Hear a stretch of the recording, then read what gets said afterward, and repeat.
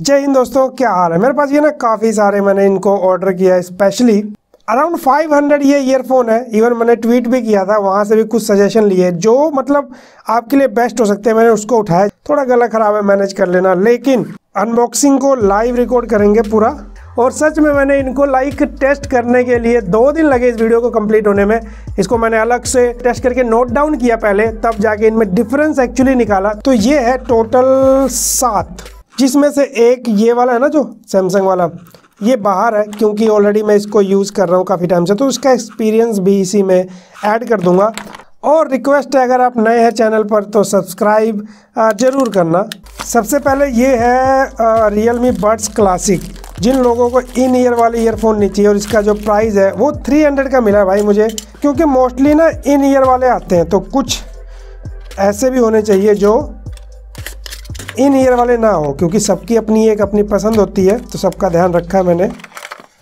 Wire quality भी अगर देखी जाए, अच्छी है उस रेट के हिसाब से, और साथ में टेंगल फ्री तो नहीं है ये वायर उलझ जाती है काफ़ी बुरी तरह। फुल वॉल्यूम पर भी कोई दिक्कत नहीं होती, ऐसे आवाज़ वगैरह फटती नहीं है इसकी, और साथ में बेस या ट्रेवल वगैरह जो मैंने सारे वर्ड बताए ना, ये थोड़ा क्लासिकल जो आप जाके सेट करते हो ना अपने म्यूज़िक प्लेयर में, कुछ उस तरीके से मतलब थोड़ा ना हैवी टाइप कर देता है हर एक चीज़ को। तो इंस्ट्रूमेंट सेपरेशन थोड़ा सा कम लगेगा अगर आप ज़्यादा म्यूज़िक के शौकीन हैं। ट्रेबल थोड़ा कम लगा मुझे और मैंने जितना उम्मीद नहीं किया था उससे ज़्यादा बेस है इन ईयर नहीं है, फिर भी। और कॉलिंग करते टाइम जो इसका माइक वाला सिस्टम है ना, वो काफ़ी नीचे दे रखा तो इसको मैंने देखा, थोड़े कुछ सिचुएशन में भीड़ वगैरह में ना दिक्कत होती है, थोड़ा ऊपर उठाना पड़ता है इसको बात करने के लिए।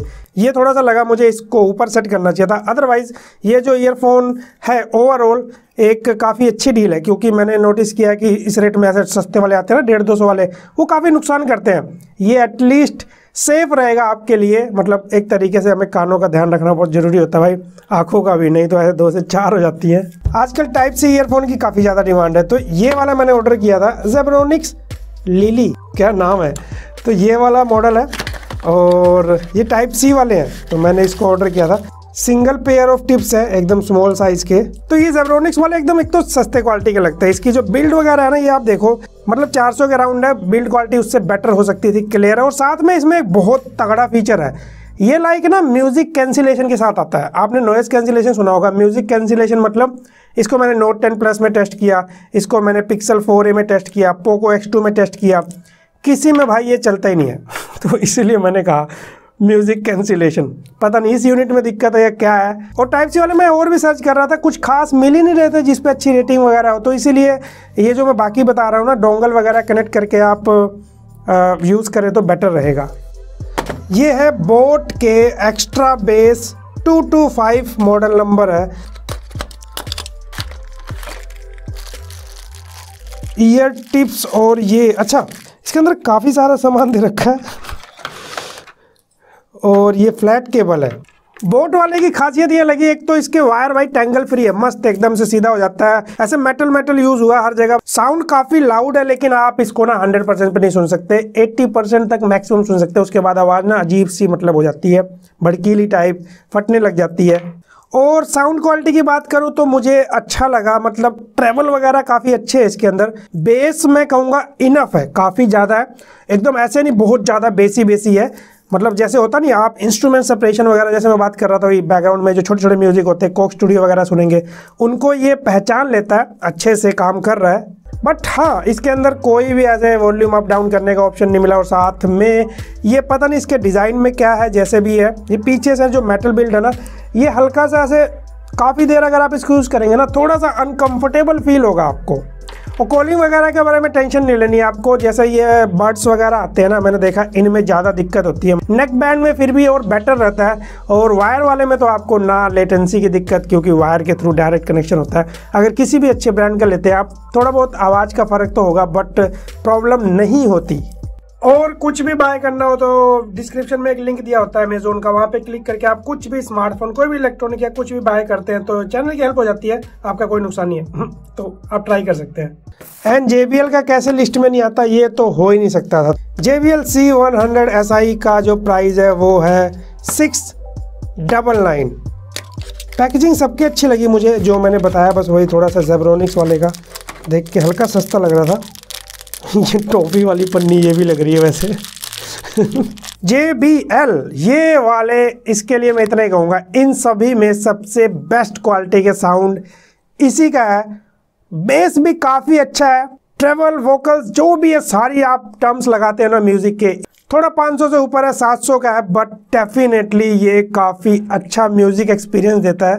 मतलब अगर आप म्यूज़िक लवर हो तो इस रेट में इसके म्यूज़िक के साथ मतलब मुझे नहीं लगता आप कोई कंप्लेन निकाल पाएँगे। सब कुछ काफ़ी अच्छे से बैलेंस किया हुआ। इसलिए मैंने कहा, जब बेस्ट लगे तो सीधी सी बात है। बट हाँ इसके अंदर कोई वॉल्यूम अप डाउन का ऐसा कुछ नहीं है। और साथ में इसकी जो वायर क्वालिटी है ना, वो एकदम ही बेसिक सा लगा मुझे। चाहे तीन चार सौ के आते हैं ना उस तरह से मुझे कुछ भी स्पेशल इसका बिल्ड नहीं लगा। इवन जो ये माइक वगैरह वाला पॉइंट है ना, ये सब बिल्कुल ही बेसिक सा लगा।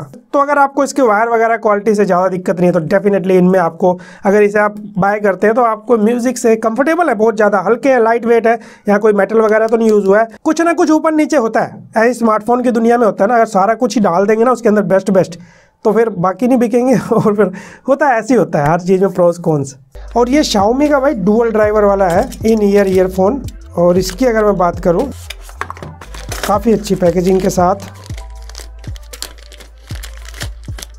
और दो पेयर दे रखे हैं इन्होंने ईयर टिप्स के। ये मेटल है, उसमें मैग्नेट वाला सिस्टम है। और ये वाले दो है ना, जो रियलमी और शाओमी के, ये दोनों को मैं एक साथ ही आपको बताता हूँ। पहले भी एक वीडियो में बात किया था बट इसको इस वीडियो में ऐड करना ज़रूरी था। बाकी तो मैं अभी बताऊँगा कैसे है। और पैकेजिंग काफ़ी अच्छी है इसकी भी। दो ईयर टिप्स है और साथ में ये भी मेटल है।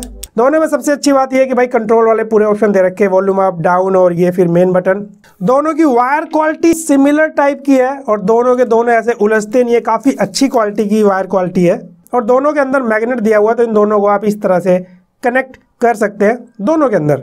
दोनों पहनने में भी मुझे कंफर्टेबल लगे, ऐसी कोई दिक्कत वाली बात देखने में नहीं आई। बट हाँ जो ये रियलमी वाला है ना, ये थोड़ा ब्लैक और येलो के कॉम्बिनेशन के साथ मैंने नोटिस किया थोड़ा सा कूल लुक देता है तो इट डिपेंड्स कि आप क्या पसंद करते हो। अब साउंड क्वालिटी में बात करूँ, सच में दोनों काफ़ी सिमिलर है बट मैं आपको एक एग्जैक्ट फ़र्क बताता हूँ। तो मैंने नोटिस किया कि जो रियलमी वाला है, इसमें ट्रेवल की क्वालिटी ज़्यादा बेहतर सी लगती हल्की सी, और जो आपका मतलब जो छम छम टाइप आवाज़ होती है ना, वो सब काफ़ी क्लियर सा लगा मुझे रियल मी बर्ड्स टू में। अदरवाइज़ कोई ज़्यादा फ़र्क नहीं है, एक को एल शेप में दे रखा, एक स्ट्रेट है। तो डेफिनेटली अगर आप शाउमी वाला ही बाय कर लेंगे, कोई पछतावा नहीं होगा। पर मुझे रियल मी बर्ड्स सस्ता भी है और क्वालिटी भी मुझे थोड़ी सी बेहतरीन लगी। आई नो ये डुअल ड्राइवर वगैरह के साथ आता है बट प्रैक्टिकल एक्सपीरियंस शेयर कर रहा हूँ। एंड ये आखिरी वाला है सैमसंग का E H S six four ये तो बाहर आ चुका है। दो पेयर ऑफ़ यहाँ पे वही ईयर टिप्स मिलते हैं। 400 के आसपास अगर आपको मिलते हैं डेफिनेटली इसको आप कंसीडर कर सकते हैं। मैं इसको काफ़ी टाइम से यूज़ कर रहा हूँ। काफ़ी लाइट वेट है। वायर की क्वालिटी वही कोई मतलब यहाँ पे कुछ स्पेशल नहीं है नॉर्मल सी है। ये भी आपस में उलझ जाते हैं। एकदम सिंपल सा लुक है। बेस वगैरह है इसके अंदर, कोई दिक्कत नहीं। काफ़ी अच्छे से बैलेंस किया हुआ, सारा कुछ जो इसके अंदर है। बट हाँ अगर आपका बजट 400 है तो डेफिनेटली इसको आप कंसीडर करो। बजट 500 के आसपास है ना, थोड़ा सा तो मैं कहूँगा रियल मी बर्ड्स टू इससे आपको बेटर एक्सपीरियंस देगा।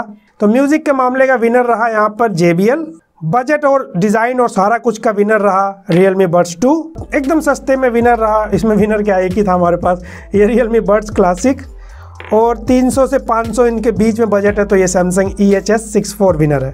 इस तरह से आपको सेलेक्ट करना है। बाकी इसके अलावा मैंने सारे ही बेस्ट सेलेक्ट किए थे। इनमें से अगर आप कोई भी लोगे ना, ये सारे ऑलरेडी अच्छा एक्सपीरियंस देते हैं। बट मैंने जो जैसा मिला वो आपको बता दिया। आई होप आपको वीडियो पसंद आए तो वीडियो पसंद आए तो लाइक शेयर सब्सक्राइब ज़रूर करना।